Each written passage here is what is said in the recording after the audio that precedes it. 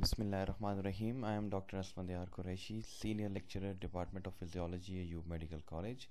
And today the topic of presentation of this practical is intake output record or you can uh, just say intake output record chart in bedridden patients. So we will start. The first slide is that the uh, bedridden patients what are the bedridden patients कौन से patients हैं जो bed written है? तो they can भी मैंने तो यहाँ पर एक दो पॉइंट्स लिखे हैं, लेकिन they can be paralyse patients like neurovascular disorder जिसको stroke trauma trauma means road traffic accidents और surgical patients after a major surgery these are the patient that are more commonly on a bed in an hospital uh, I have given you a screenshot of an intake output record. It gives you on the left corner the serial number side gives you the date. Then intake intake is the amount of fluid they take in each day per 24 hours or per uh, the and then is the output.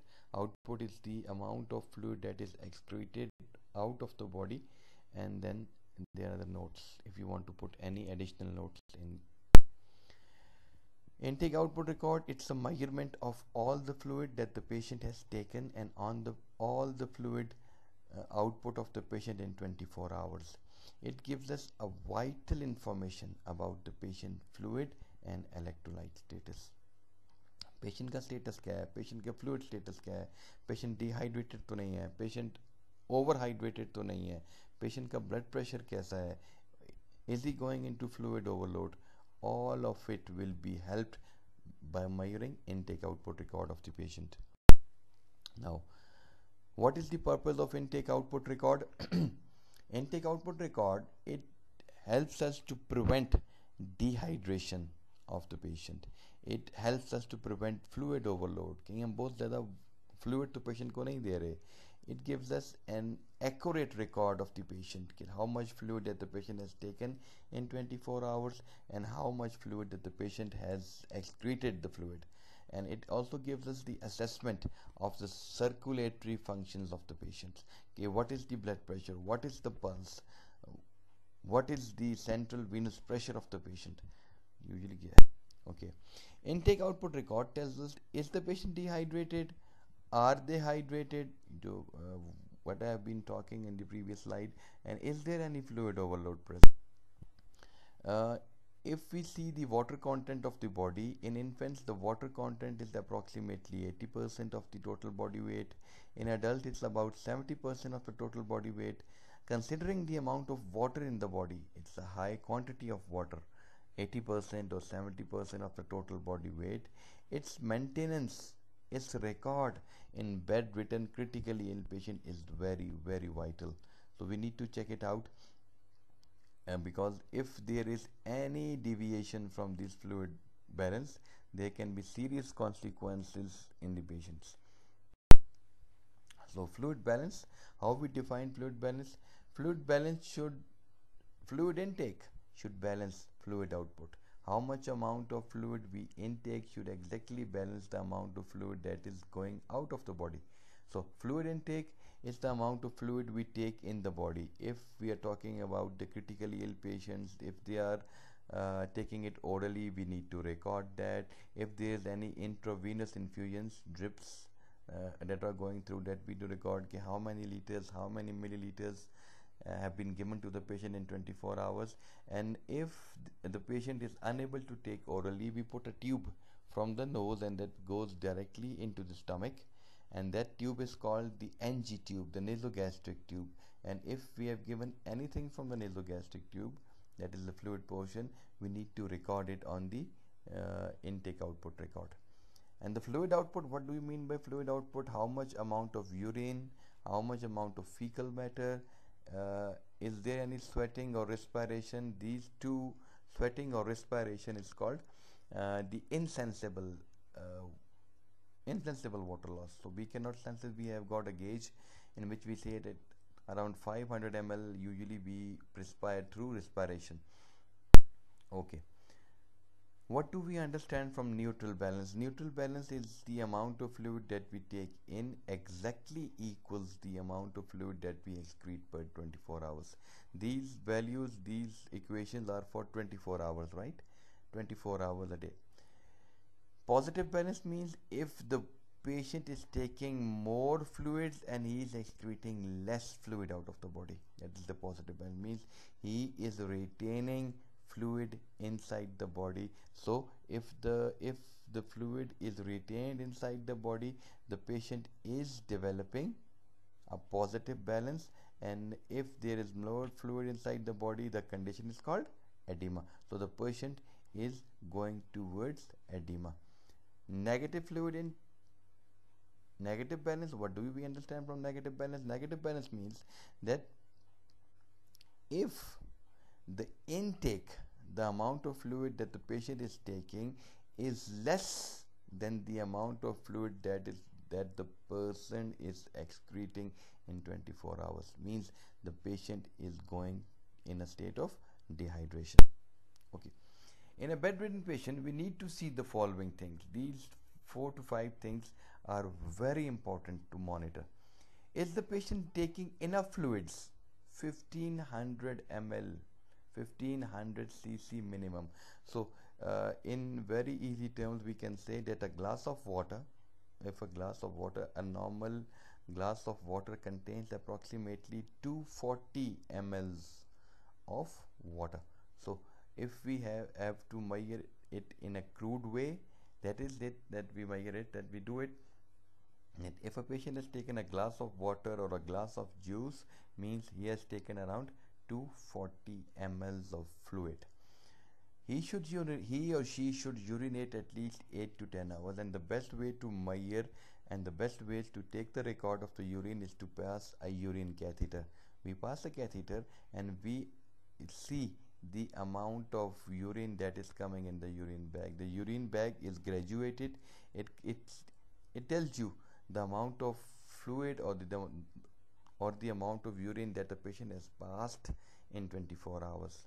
Or if we if the patient does not want to have a urine catheter then we tell the patient to urinate in a glass jar or in a plastic jar so that we can measure the amount of urine that the patient has passed in every void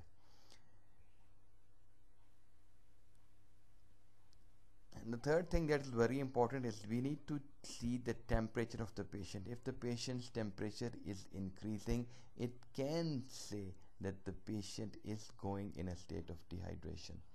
What is the sweating status? Is he sweating very much? If there is sweating, so the water loss goes up, so we need to take a record of that. And if the patient is a surgical patient, uh, we need to see the the amount of blood that is coming out from the wound that's usually you can see that the patients after surgery they have a big drain coming out of the abdomen or the surgical part and the blood is coming out from that drain bag continuously. If the blood is coming out we need to measure that blood too. It's very important. Okay. Measuring intake output record intake any ice any juice any coffee any yoghurt any jellies any I V intravenous और tube diets what I been saying the nasogastric tube feedings any liquid at room temperature जो कुछ भी हमने patient को दिया है we need to record it and the output अगर कोई वॉमिट हुई है तो वो कितनी दफ़ा हुई है? How much urine blood how much the blood is coming out of the wound liquid stools how much how many times the patient has gone to the washroom and spends the past the stools? Or if the patient is been put on the NG tube is there anything coming out from the NG tube? And if it's coming out we need to see how many ml is coming out and we need to record it on the intake output record uh, chart. So urine output how much a patient urinates in 24 hours so in normals it is 24 hours a day and uh, in uh, these values are for normal adults.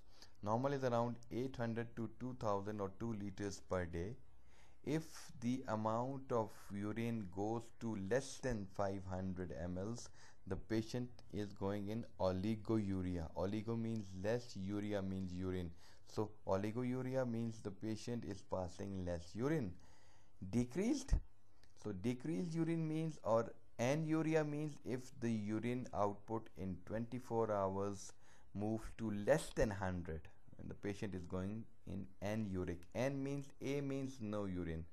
And if the urine is going at the rate of more than 2.5 to 3 liters per day means the patient is going in polyuria. The urine output is going more uh, this chart gives you a rough idea. You can see all through. It gives you from days to adulthood. Okay. What is the amount of urine per day in mLs it's a rough idea. This fluid chart is very important. Usually it gives you the daily fluid balance of an adult of a normal healthy adult. If say if if we say the ingested liquid is 1500 ml ingested food whatever we eat if the fluid content of that food is around 800 ml and the metabolism in the metabolism water is also formed. So in around in normal healthy non exercising males the amount of fluid intake is around 2.5 liters per day. Output kidneys urine 1500 skin loss means sweating perspiration 600 ml GIT in the fecal matter 100 ml and lungs with respiration 300 ml so the loss of fluid from the skin GI and lungs these are called insensible water losses because we do not sense it. So uh, around you can say 1000 ml if the urine if we calculate the amount of urine in 24 hours and we add in 1000 means that are the insensible body losses. Means the water that we lose from the skin perspiration sweating from the GIT in the fecal matter and with respiration we are breathing every time. So uh, the amount of fluid loss from these areas is called the insensible body loss. Insens insensible water losses. And that is around 24 uh, 25 ml so in this chart you can see that the intake of the fluids is exactly equal with the output that is the neutral balance